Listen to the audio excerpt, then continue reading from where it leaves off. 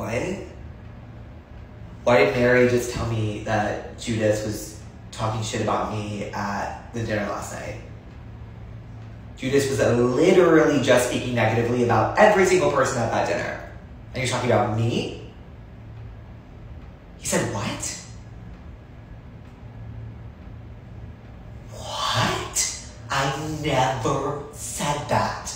I never said. I said her hair looked different. I didn't say it looked bad. Oh my. He was saying shit too.